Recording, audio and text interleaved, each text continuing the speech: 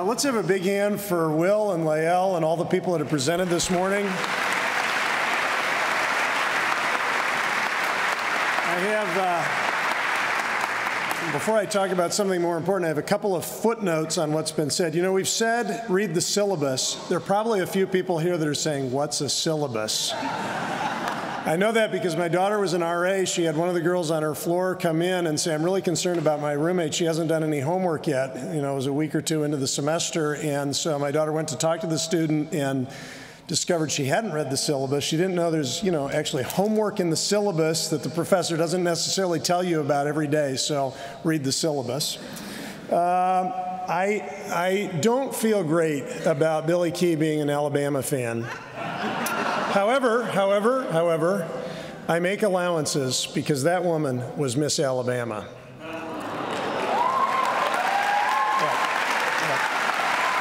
I know she she will uh, she'll deal with me later. I know.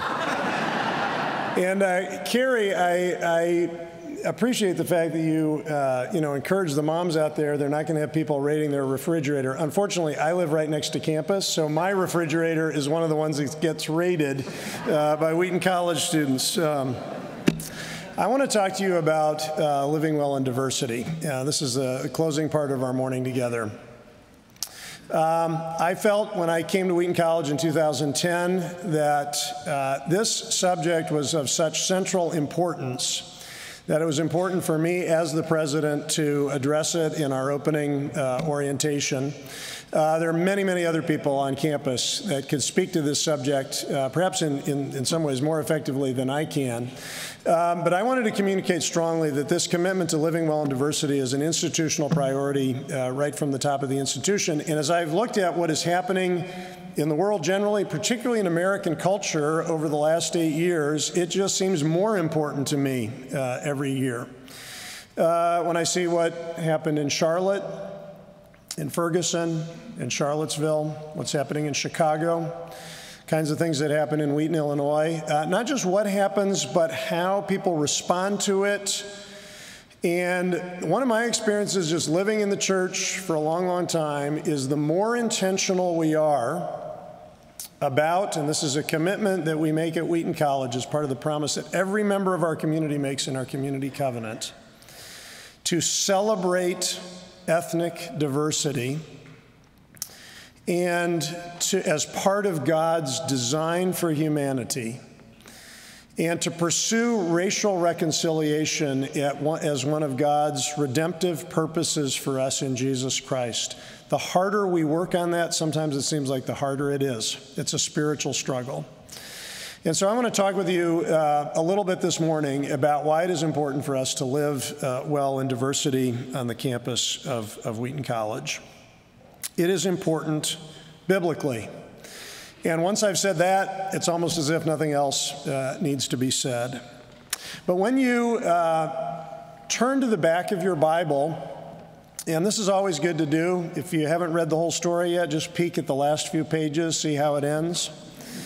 Uh, what you read in the book of Revelation is an amazing and ancient and future purpose of the living God to gather all peoples together for worship in Christ what the scripture describes. Oh, what a beautiful picture it is. A great multitude that no one could number from every nation, from all tribes and peoples and languages, standing before the throne and before the Lamb, clothed in white, white robes with palm branches in their hands, and crying out with a loud voice Salvation belongs to our God who sits on the throne and to the Lamb.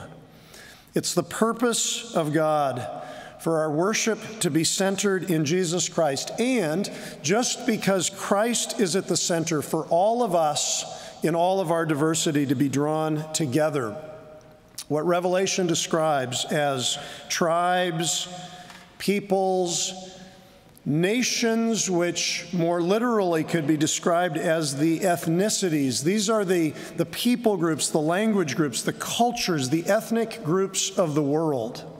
This is God's design. It is something He delights in. Unity through diversity is the trajectory of the kingdom of God. And it's my conviction as the president of Wheaton College, it is absolutely the conviction of the trustees of Wheaton College that that future reality ought to shape our present reality. That here at Wheaton College, we would experience this multicultural multitude in greater dimensions as part of our own campus community. It's important biblically. And that is why we could never say what for some of us may sometimes be tempting to say, why, why are we focusing on race when we ought to be focusing on the gospel? Understand, racial reconciliation and Christian unity are necessary implications of the gospel. They are, in and of themselves, gospel issues. It's important. Thank you. Thank you. Um, it's important for us biblically, it's also important missionally. You look at the mission statement of Wheaton College, we say we are called to educate the whole person, every dimension of who we are in our humanity. It's been beautifully demonstrated for us in just all the dimensions of care that we're talking about this morning. The whole person to build the church and benefit society worldwide. And I don't know how we can do that if we are only living and working and worshiping and playing and studying with people from our own group. How could we be effective doing kingdom work globally unless we have the skills and the sensitivities to reach across ethnic and cultural barriers? A multicultural, international diversity is absolutely in the best interest of your education and your future service to the kingdom of God. And that's why we say in our community covenant, it's part of the commitment that we make to one another that we will celebrate ethnic diversity and we will pursue racial reconciliation, understanding that this is part of God's design for humanity what he intended from the beginning, and also it is part of God's redemptive purpose, purposes for us in Christ in the present and into the future. It's important biblically, it's important missionally, it's important historically. I look at 158 years in the history of Wheaton College, and um, I came to this community when I was one year old. So I've been here for about a third of Wheaton's history. I'm, I'm getting close to being a third of Wheaton's history. And I look at that history in terms of ethnicity, in terms of race, in terms of culture, and there are so many things to feel so grateful about, but also many things to lament. All of us carry around with us the historical baggage of racialized societies. Certainly true in the United States, but it's, it's a human issue, so it's a global issue. All the cultures of the world, in one way or another, are struggling with this. And when things have a historical grounding to them, uh, you can't just say, let's build a better future without reckoning with the past. It's maybe a little bit like this. Um, I am one of the, the least handy people around the house that you can imagine.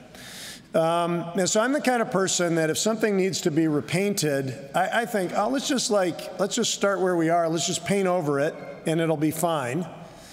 But actually, what happens when you do that is things quickly start to crumble and degrade. It's just not how that works. You've got to scrape it down to the wood, and then you can uh, begin to paint something new. But it's not just a matter of, of painting something over it, it, it's really dealing with the past. And, and we deal with that at, at Wheaton College as we do in American culture. This college absolutely founded on the principle that all people are created free you got just a little glimpse of it last night. It's, it's worth reading and learning more about. Jonathan Blanchard is an abolitionist uh, committed to the immediate end of slavery in the United States, really at the forefront um, of that fight um, in this country. And uh, the Blanchard family, also just in its family life, uh, very committed to welcoming people of different races. There were um, African Americans living in the Blanchard home, as well as people from uh, other countries um, around the world. It was just part of their part of their family life that became part of our community life as, as a campus. And there have been times when when we have really lived up to that vision and that heritage, but there are also many times when we have failed to live up to it. I'm encouraged, uh, particularly when I think back to what it was like to be uh, a student here in the 1980s, to see how this community has become uh, more diverse, as you saw last night in some of the statistics. Um, about 25% of our student body from ethnic minority communities in the United States. In addition to that, 10% of our student body coming from third culture, international settings. It's a, it's a growing diversity. I grew up in this community, and this is the way I say it. Um, it's, not, it's not meant to be a humorous comment, it's just the, the truth of my reality. Uh, this community was so white that my only non white friends were imaginary. Um, I, I, did a lot of reading in sports biographies. My lens on racial conditions in the United States was uh, shaped by my reading in African American and Latino uh, authors, uh, particularly. But that was a world that wasn't part of my experience. So I look at how that has changed in this community. I, I see the progress. I'm, in, I'm encouraged by it. But I also know that for most of the 20th century, a Wheaton education was deeply impoverished by a lack of diversity on our campus. Our students missed out on the opportunity to grow in multicultural understanding through close personal relationships on campus that could become lifelong friendships. The reasons for that are complex, aspects of overt prejudice, systemic racism, Often sins of omission, a lack of intentionality in building close relationships in the church that would fully reflect the multicultural direction of the kingdom of God. But that's, that's part of, our, that's part of our, our history. And so there are historical reasons why it's important for us to be intentional, focused, thoughtful, prayerful um, about leaning into uh, what it means to be a diverse community in Christ. And for me, these issues are also deeply personal. I won't say as much about that this morning, just given the time that we have, but I will say that um, my wife Lisa and I were raising our family in a much more diverse community in Center City, Philadelphia. And part of our commitment in coming to Wheaton, for me coming back to Wheaton, this is a community I grew up in, is uh, believing that this community could become increasingly a reflection of the global body of Christ. And if I didn't believe that that was a possibility, um, I, I, would not have come to be uh, president of this school. What I want to do this morning is invite you to make this your personal concern as well, and to recognize students that embracing ethnic diversity will require of you growth in your personal understanding. It's not enough uh, simply to say, I'm not a racist. Okay, you don't want to be a racist. Maybe in one sense of the word, you're not a racist. But you, you have a long way to go, whoever you are, in wrestling with the implications of ethnic difference in the kingdom of God. It can be a growth area for you. Now, and it, it can be a growth area for all of us. I'm not just speaking to Anglo students, also speaking to students from minority ethnic backgrounds and to your families. Anytime we're talking about sin issues, they are human issues, and human issues are universal issues. And so there are ways in which Wheaton College, in your time here, will challenge you to examine some of your own ethnic assumptions, maybe some of your own racial prejudices. There'll be times when you will be called to virtues of patience and forgiveness. When you see students from Wheaton's majority culture that don't really seem to get it when it comes to relationships and race. You may be tempted to withdraw, to give up, not to lean in to reconciliation, but there is that promise that you too have made to embrace ethnic diversity, to pursue racial reconciliation as part of God's redemptive purposes in Christ. I'm also speaking to third culture students God has a work of grace to do in your life. You have a unique upbringing. It's an amazing resource for multicultural understanding that enriches this college, but, but you'll have to wrestle through some of your own prejudices as well. Here in America, in American culture, there are cultural boundaries that you haven't yet sought to navigate. I, I think, for example, of a Korean background student, grew up in Cambodia, went on an overseas program to Africa and kind of thought, you know, I'm, I came from a majority world. I probably understand African issues. And he really had to confront a lot of his own prejudices in that context. And that was an amazing learning experience, not just for him, but, but also for his American classmates. And of course, I am speaking to my fellow white Anglo Saxon Protestants particularly if you did not grow up in a particularly diverse community. Can I ask you to understand this? That you have many brothers and sisters on this campus who live with the conscious reality of their ethnicity every waking moment on campus. And there are ways in which life at Wheaton will be different for them than it will be for you as a student who is part of our majority culture. Uh, you know, being white is the default position in many ways of American culture. That's not a matter, it's not something to feel guilty about or ashamed of. It is, it is a privilege in our culture. Uh, I think this is a helpful analogy that's worked for me. Um, it's easy not even to notice some of the privileges that you have and difficulties and challenges you do not face if, if your um, racial background is, is Caucasian. It's a little bit like standing on third base in a baseball game and thinking that you hit a triple, um, but actually you started on third base. And so, um, even beginning to understand why it's hard for somebody else to get to first base in some cultural settings, you can't think that you already hit a triple and really understand that. Uh, that's an analogy that's, that's helped me in thinking about this. Uh, there are many students on this campus who, um, when they wake up and look in the mirror, go to class, study at the library, eat at the dining commons, go to practice, participate in a musical group, uh, for you, as a white student, you never even think about your racial identity. It's not something you, it, it, it's just sort of quote unquote normal. But that's not the experience predominantly for students of color and faculty of color and staff of color on this campus. And, and sometimes they get tired of feeling like they have to represent for their ethnicity all the time. It will be hard for them when they experience insensitive or ignorant comments which are particularly disappointing in Christian community and even beginning to start to understand that is going to take a lot more from you than just saying, I'm, I'm not prejudiced. It's going to require a commitment to reconciling relationships, of mutual understanding, of, of spiritual growth. Uh, are you willing at the beginning of your time at Wheaton to begin to understand this and to lean into this?